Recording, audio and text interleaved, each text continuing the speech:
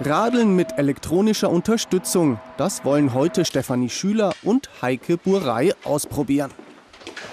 Grüß Gott. Grüß Gott. Hallo. Hallo. Wir haben gehört, bei Ihnen kann man E-Bikes leihen. Da würden wir uns ganz gern mal informieren. Ja, wir haben Elektrofahrräder jetzt in der zweiten Saison, haben die draußen stehen. Ich kann sie Ihnen gerne gleich zeigen. Wie lange möchten Sie die denn? Für einen halben Tag zum Probieren oder einen ganzen Tag? Oder wir hätten auch ein Angebot fürs Wochenende?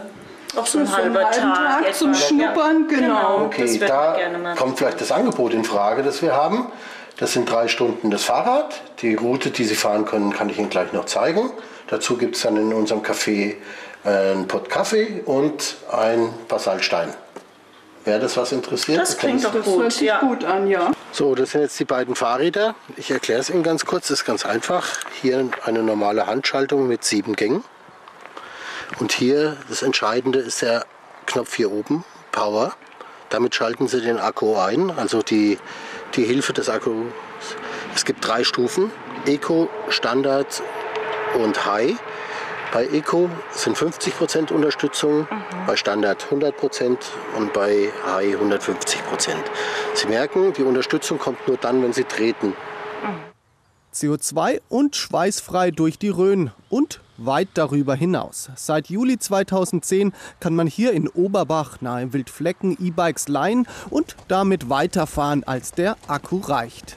Wir haben ein System eingerichtet mit verschiedenen Verleihstationen. Das heißt, Sie können auf 260 Kilometer quer durch die Rhön fahren, von Kissingen, Hamelburg, Gemünden, Bad Brückenau über Bischofsheim, Bad Neustadt, Bad Kissingen wieder zurück. Einen Rundkurs. Und auf dem Kurs haben Sie alle 30, 40 Kilometer die Möglichkeit, den Akku zu wechseln. Das heißt, Sie können problemlos die Tour fahren.